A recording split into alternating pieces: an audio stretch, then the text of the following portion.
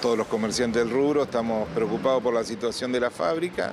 Las fábricas acá en Argentina han cerrado y los importadores están con problemas de lo que es la entrada al país por las faltantes de divisas que hay.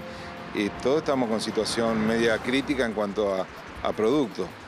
Ya de por sí hay mucha variedad de productos, muchas medidas y cuesta mucho conseguirlas. Pasa con los seguros también, que no conseguís las medidas que te piden, el seguro se termina adaptando y ofreciéndole al siniestrado lo que se consigue y la gente acepta porque no, no hay alternativa, eh, lamentablemente.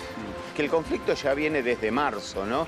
Eh, eh, ¿Cuándo se agudizó aquí en las gomerías? El conflicto este gremial viene de marzo.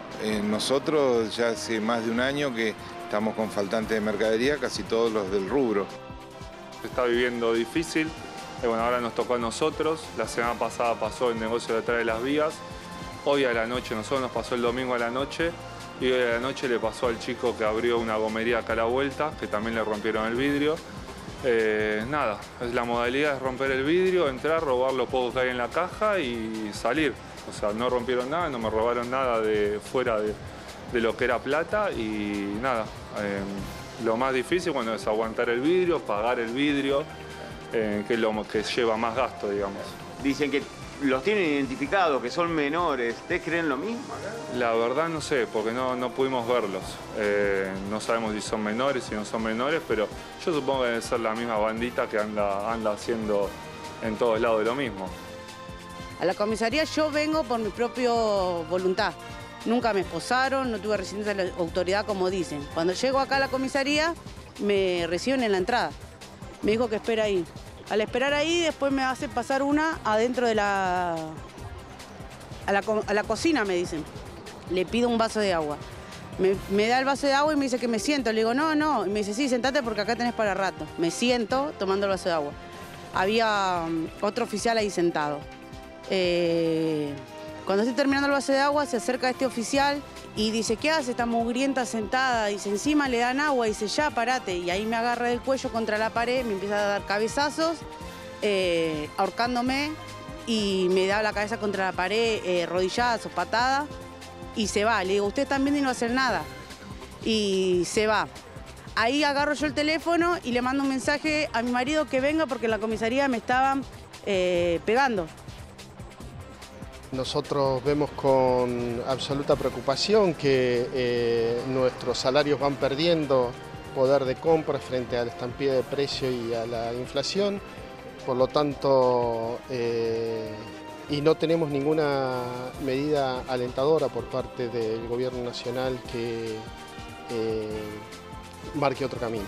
Por lo tanto, hoy es un paro nacional de ATE eh, que abarca los tres niveles eh, del Estado, nacional, provincial y municipales, que engloba todos los reclamos, fundamentalmente la cuestión del salario, pero también la cuestión de la estabilidad, porque vemos con absoluta preocupación también que eh, el anuncio de congelamiento de los ingresos al Estado es un masazo a todos nuestros compañeros que están precarizados hace años cumpliendo una tarea diaria, cotidiana y permanente en las distintas jurisdicciones del Estado de la tierra.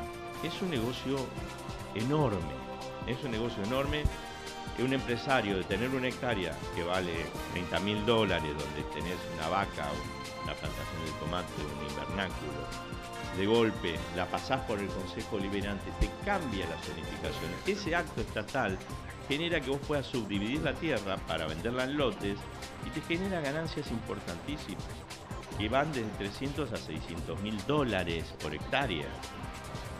Y no invirtió nada el empresario. No hay mérito de nadie, no hay inversión de nadie. Simplemente un acto estatal. Le cambió el valor a la tierra. En el caso de los procrear, las valorizaciones han superado el 1000%. Es decir, el valor de la tierra tuya, sin nada, es sin poner un poste, sin alambrado, nada. De golpe, por un acto municipal, te cambió el valor al 1000%. Sí, en realidad es la aplicación de la legislación que se viene trabajando ya hace un tiempo. Existe legislación provincial y local, más precisamente a través de un decreto que se firmó el año pasado, que firmó el intendente Garro el año pasado, en el cual se aplica el concepto de plusvalía. ¿Qué significa el concepto de plusvalía? Cuando se modifica, se altera de alguna manera eh, algún sector o modificación de la zonificación de la ciudad y esto genera un beneficio económico para determinado eh, emprendedor, desarrollador y demás, este tiene que devolver, digamos, eh, a la sociedad, en este caso, a, través de la municipalidad, a través de obras, dinero o con tierras, lo que parte un porcentaje de esa ganancia que le significó esa, esa resonificación.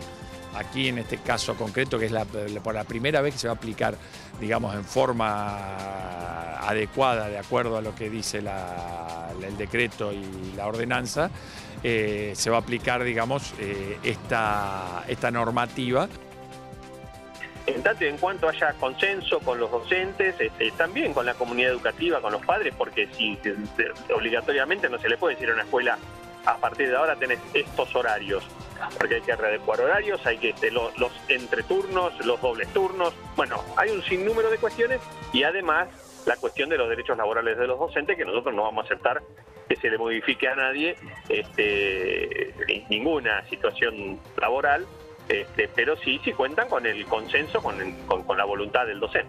El gobierno se hace, la Dirección General de Cultura y Educación hace bastante que está trabajando en esto, este, varios meses, y este, lo que tengo entendido es que eh, todas este, estas escuelas que presentó son escuelas en las que hay un consenso de la comunidad educativa para adelante esto. Y reitero que si hubiese un docente que dice que no quiere, que lo están obligando, bueno, nosotros estaremos en desacuerdo y defenderemos a ese docente.